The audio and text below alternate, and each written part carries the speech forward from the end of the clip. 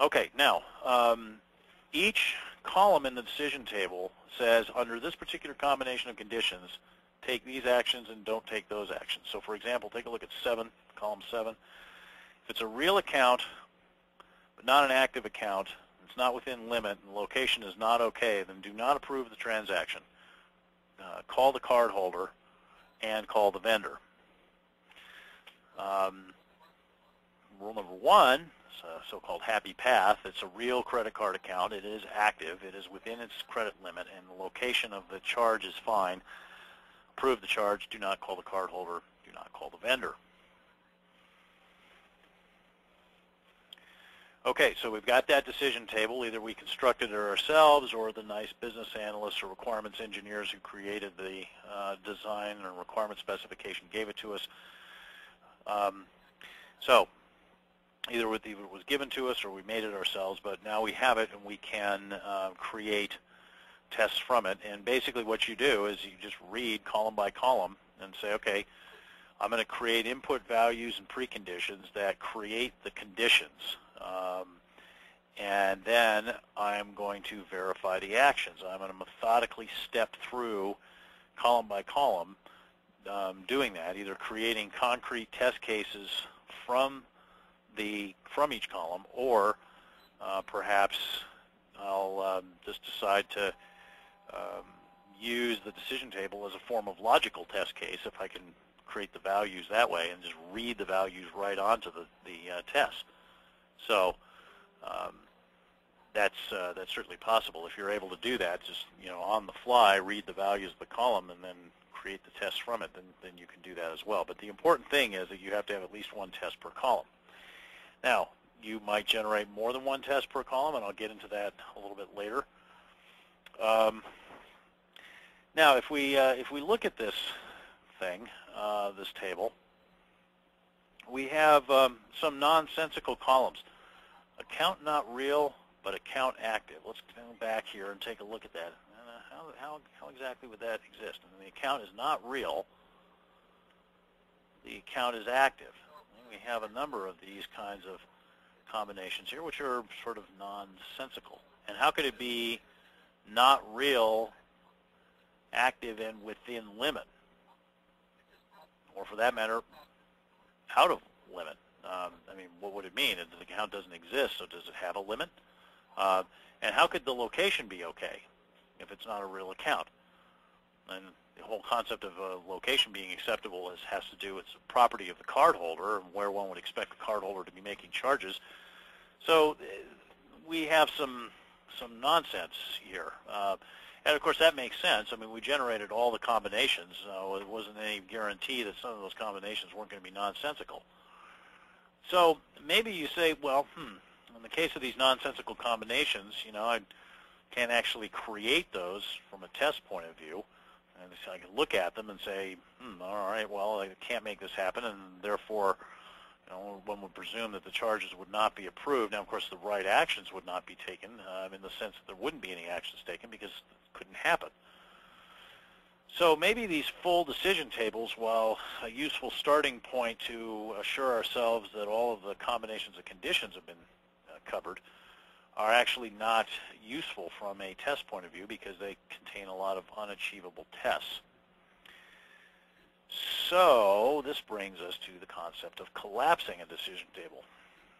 Now what I'm going to do is I'm going to try to look for um, combinations of uh, particular conditions where where one of the conditions, or maybe two of the conditions, or more of the conditions, actually cannot affect the actions um, that will will occur under a particular set of circumstances.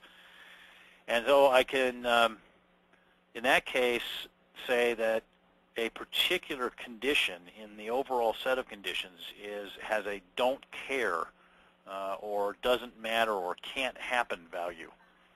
Um, and, and replace that particular condition uh, with a, a, dash or a tilde to, to indicate that, um, and then collapse the two columns together.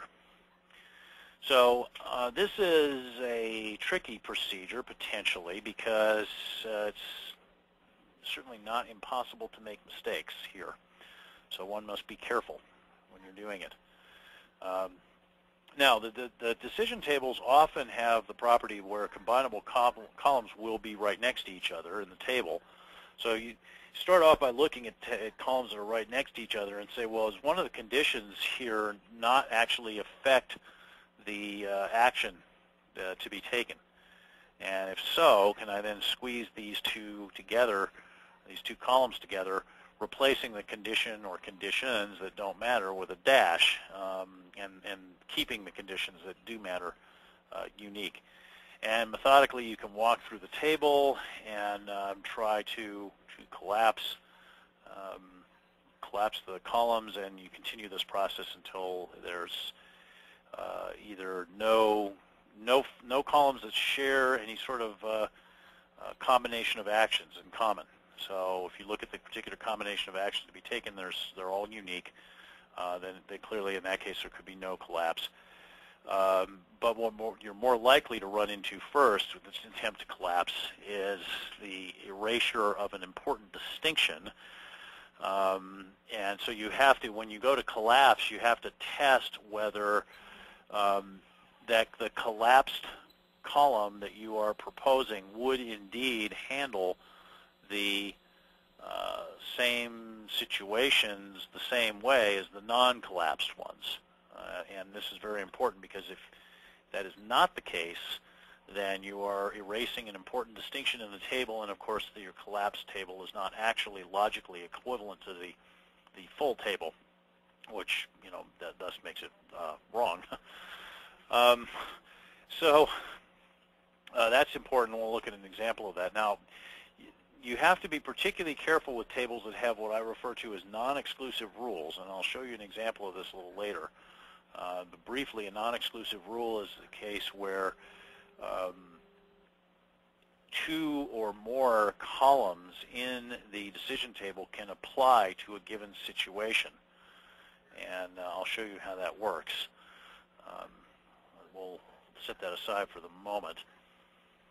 And let's look at the collapsed decision table for the full decision table we looked at previously.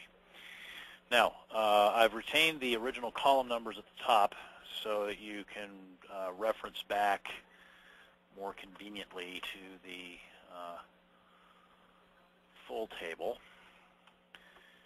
So this, um, this is some trickiness here potentially. Notice that at Rule 3, Rule 4 collapsed into it because the difference between Rule 3 and Rule 4 was just whether the location was okay or not.